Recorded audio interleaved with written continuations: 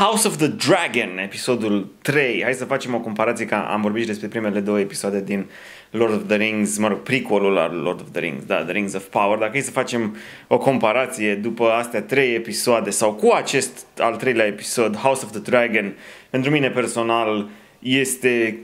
clar mai bun sau mă face cel puțin pe mine să mă uit, să fiu mult mai interesat să vreau să abia aștept să mă, să, să știi, să vreau să mă uit mult mai mult, să fiu mai curios, să, sunt mai prins și mai toate cele de House of the Dragon decât de Lord of the Rings, deocamdată, mă rog, Rings of Power ăsta, după primele două episoade. Corect, uh, că are potențial și avea și are, mă rog, în continuare mult mai mare Rings of Power și mă interesează, mi-ar, mi-ar, m-ar fi interesat mai mult, da, dar uh, după acest episod 3 din House of the Dragon,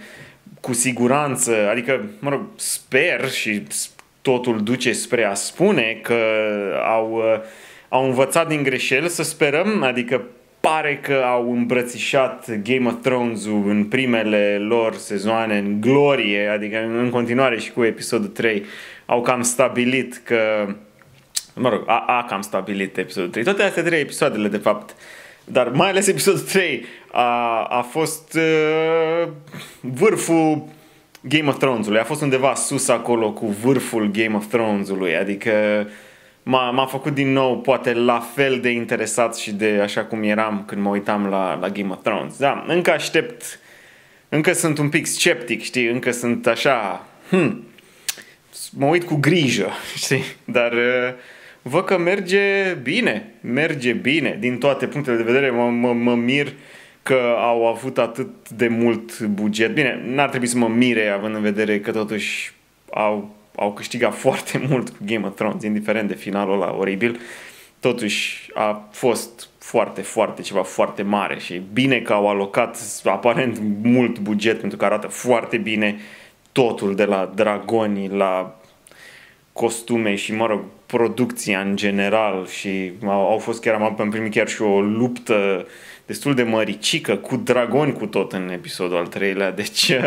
și până acolo, până acolo, deși ritm lent, a fost un ritm lent care n-a contat că e lent, adică sunt unele în care contează că ritmul e prea lent și nu se întâmplă nimic și nu e interesant și atunci devine plictisitor și enervant și tras de timp și există ritm lent, cum a fost aici, în care nu e acțiune, nu sunt lupte, nu sunt, e mai mult dialog, dar având în vedere personajele respective, scenariul respectiv, mă rog, tot, tot, tot ce se întâmplă în el, construcție, personaje, dialogul în sine, la la la, cât de bine e scris, cât de interesant și nu știu ce, atunci nu contează că e lent, nu contează că nu se întâmplă nimic, pentru că nu-ți dai seama, pentru că ești investit în poveste, încă o dată în dialog, în personaje și nu știu ce. Și da, Renira începe să fie uh, undeva la egalitate cu Damon ca și personaje interesante și uh, preferate. Uh, Renira și cu Damon și cu Viserys, culmea. Regele Viserys a fost bine ales actorul. Prima oară când l-am văzut eram gen, aha, actorul ăsta care a jucat de obicei uh, mai, roluri mai de, știi, tip obișnuit sau poate chiar pămpălău, poate chiar, știi, gen, e foarte potrivit în rolul ăsta, dar evoluează și el, nu e, nu e prost, nu e atât de pămpălău cum poate pare, nu este, știi, e undeva, un, e undeva între acolo, e, e, e, e îl înțelegi, îl înțelegi într-un fel, uh, uh, e, uh, duce un pic cu Eddard Stark, dar, mă rog,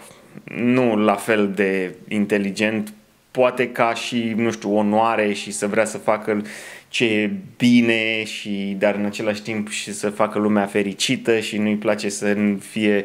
altă lume nervoasă, știi, se, seamănă cu mine un pic la chestia asta, nu suport să fac pe nimeni supărat, nu suport ideea că am supărat pe cineva și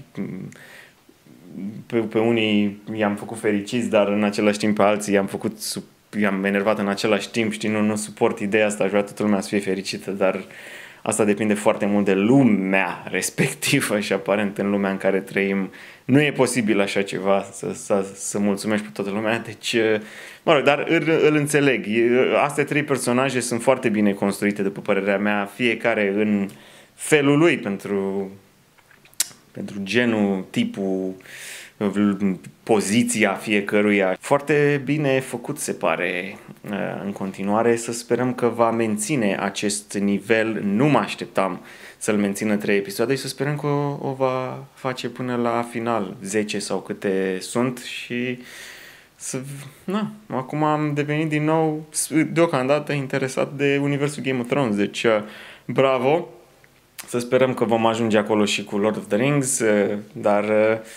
deocamdată nu se anunță chiar așa, da? Să sperăm, să, să sperăm. Hai să vedem, doamnește, ținem degetele încrucișate, pumnii strânși. Uh, cum vi s-a părut vouă ce v-a plăcut cel mai mult personajele voastre după episodul 3 preferate? Încă o dată, facem chestia asta la fiecare episod, sper, încerc să fac.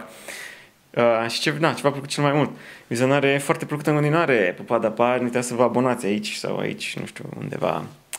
Da, pa, da, pa.